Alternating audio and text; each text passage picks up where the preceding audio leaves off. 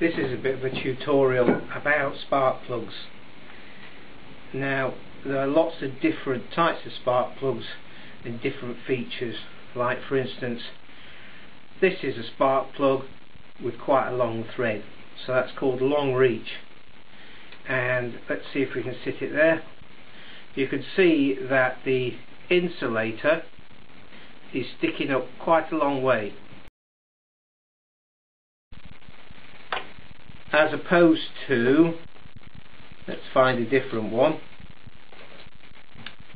This one here where it's got a very short reach and the insulator and electrode are right down in there. The thing about how much the electrode and the porcelain stick out of the plug relates really to how the plug behaves in oily conditions. The one that sticks out a long way will run hotter than the one that's stuck down in. So this one will transfer the heat away from the electrodes quicker so it'll run cooler than that one.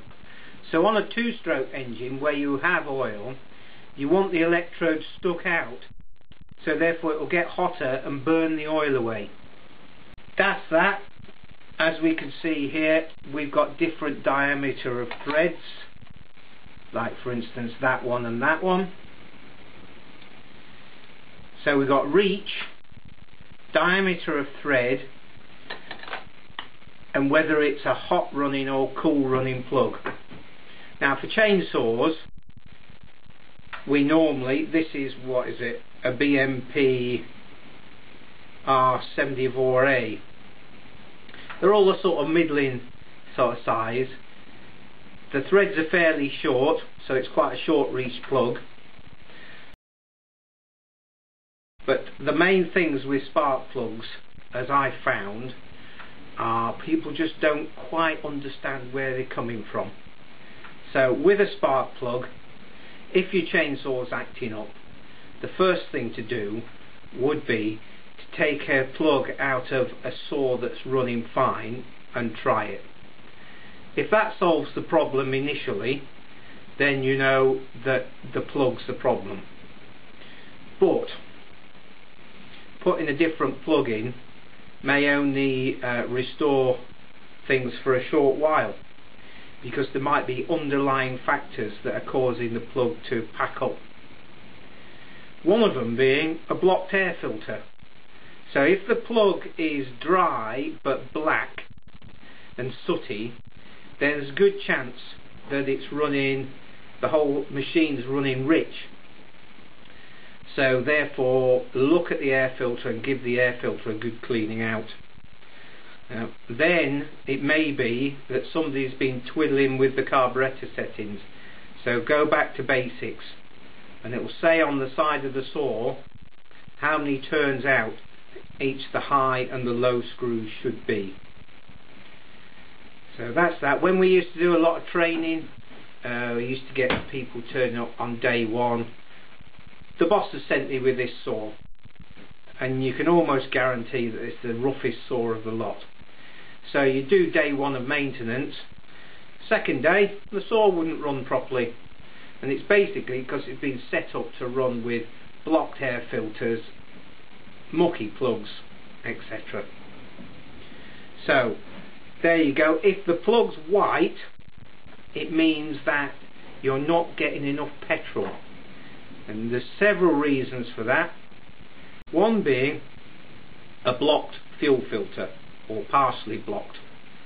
So hook the uh, filter out of the tank with a bit of bent wire and either replace it or if it's a 20 mile round trip to go and get another filter on the Stihl ones you can pop the plastic case out and then you can blow the element out with an airline that'll save you 20 miles and a fortune and an hour's driving so that's that. The other one would be, again, carburetor settings.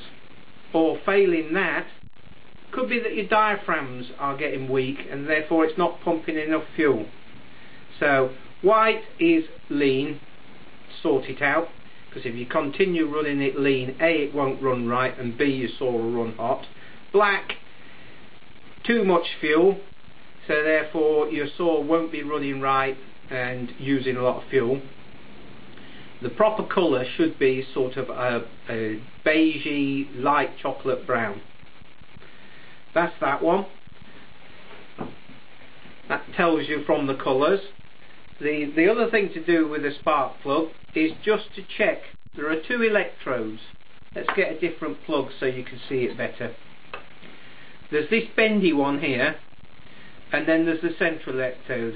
Of course the central electrode is surrounded with porcelain and there's a big deep gap down there between the between the inside of this threaded bit and the porcelain. If down there it's full of carbon uh, it's very easy for the HT, the high tension spark, to track across the porcelain through the carbon and to earth. You want the spark to go between the central electrode and this bent electrode. So have a go at cleaning out round there, but if it's that bunged up, change it. The gap is important, and that is the gap between the central electrode and the bent electrode. As a spark plug gets used, both electrodes slowly erode, slowly wear away. So from time to time, you've got to set the gap. And there are various things for setting the gap. I've got this delightful little here, AC plug uh, gap setting gauge. And along here this is tapered in thickness and there's the different sizes. And you would put that in the gap and just move it along until we're about there. And that's um, 36 thou. Well that's fine if you're working thousandths of an inch but um, a lot of modern manuals they talk about millimeters. So this is a set of feeler gauges, metric ones, and each of these gauges have, has a different thickness.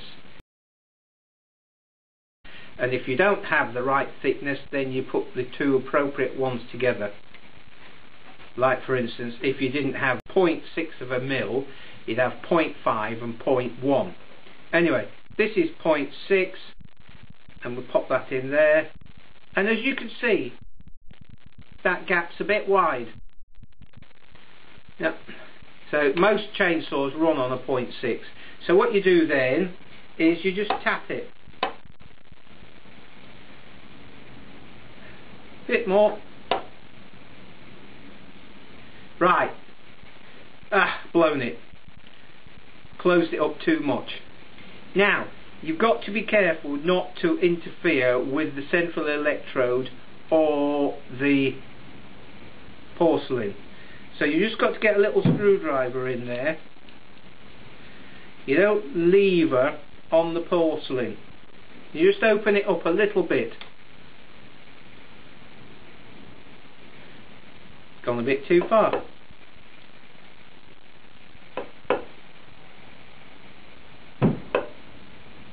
I'm being a bit gentle now.